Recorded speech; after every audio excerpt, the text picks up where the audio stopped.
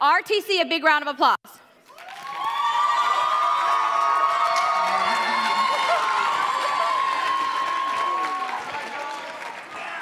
Thank you. Um, good afternoon. We are RTC Medical Preparatory High School, and the name of our orga organization is Beyond the Desert. We chose challenge number one by Joanne Hogg, which was to challenge ourselves, our peers, and our family to, to learn how to cook, understand, and eat real foods. Push on the door, feel the rush of air on the skin of your face.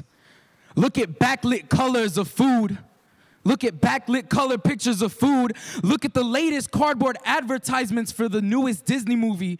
Get in line, place your order, hand over money, put the change in your pocket, watch teenagers in uniform put burgers on grills and fries in baskets of oil.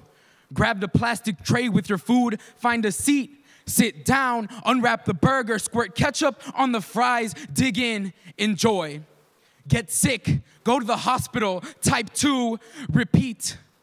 Now, any rational person would cease this behavior, but it's not a question of rationality, more so availability. With an estimated 3 million Americans in Chicago living in food deserts, it's no wonder we save a lot of time deciding where to buy our food.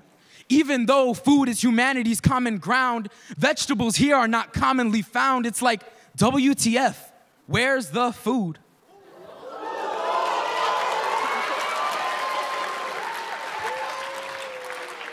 Two point seven, 2.7 million residents, nearly exclusively African Americans, live in food deserts and face nutritional challenges that contribute to the health disparities found in Chicago's population. Now, recognizing that this issue is so grand and complex, instead of focusing on what the underserved communities don't have, we focused on what they do in efforts to inspire and empower one another to take advantage of the resources that we do have access to. So, what we did is we basically visited every local market and corner store in our neighborhood, and we listed and took a picture of every healthy food we can find and brought it back to our team and made a website, which is beyondthedesert.weebly.com to share. Food deserts are impoverished areas that have lack of access to grocery stores, also food, also farmers markets, and also just access to healthy food in general. We decided to choose this topic because since food deserts are predominantly found in Black and Latino communities, it personally affects us, and we decided to come together in order to push past the challenges that we face in order to find a healthier option. Okay, in addition to making the website, we also partnered with James Beard Award winner Chef Jenner Tomaska. Um, he aided us in creating recipes with food that can be commonly found in our neighborhoods. Uh, so these places being like corner stores and like grocery stores that are readily available in our communities. We also added a beauty component as well. We decided to make like a cheaper option to these healthcare products since we all know that beauty products are very expensive and you typically do not know what are being put in it.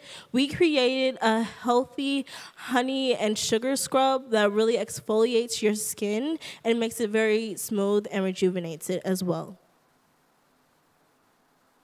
In addition to that, as we emphasized that we had information put up on our website about healthy food swaps. So we took the initiative in doing the research for you and laying it out so that you could pay attention to what's on your food labels. And it's simple things like going into the gas station and picking a bottle of water over that brisk that I know you guys were eyeing, but that bottle of water is gonna serve as more beneficial later on. And it's things like that that we truly encourage to make these healthy choices to benefit you in the end. We created a Facebook site that not only unites Chicago but other people across the nation. People caught on quick through the words words of the mouth and social media and we got 55 hits in just our first day.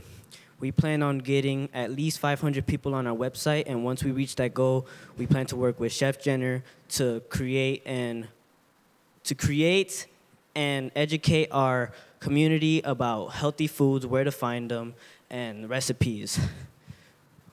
in the long term, we want to make our our choices represent our options, and by doing that, we would repeatedly buy healthy foods to force uh, market demand, forcing local markets to supply these healthy foods in our neighborhood. As a group, we worked extremely well together, and one day Chicago Time's will up. soon look beyond the desert.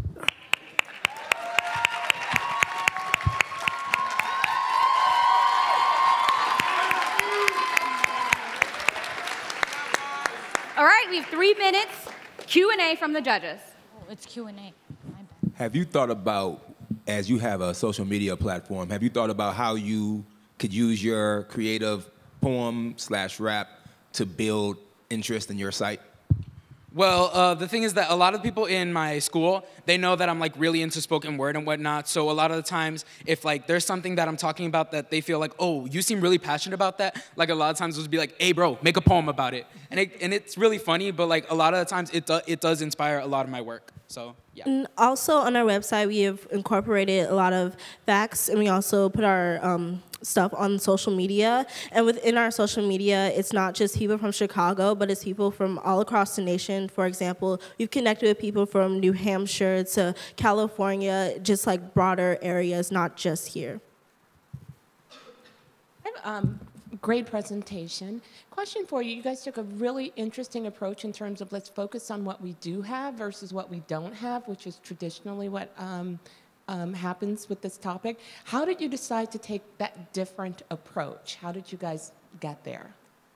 Well, it's important to see that not just this matter, but in many aspects, it's hard to just change the system and the way things have been implemented and functioning for years. So, as opposed to abruptly trying to function against it, it's important to be logical and strategic about it and going about it as in, all right, so I'm gonna go into the grocery store. This is what we do have, and the more that you have consumers, the way business work business works, they're obviously gonna uh, market up the product, the the production of that product so that it's more in demand and that's how it, yeah the, we see envision it How, how did you lock in that strategic partnership with Chef Jenner?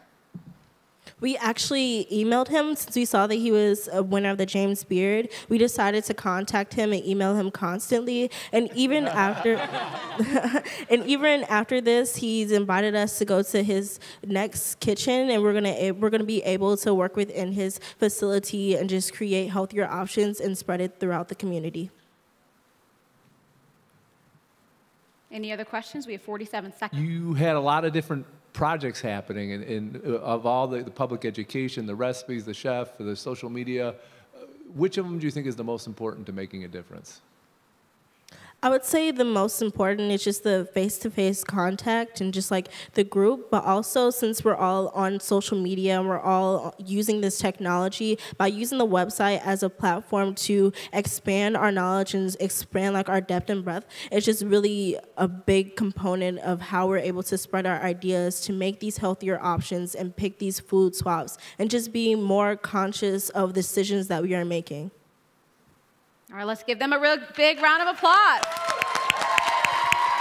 Thank you.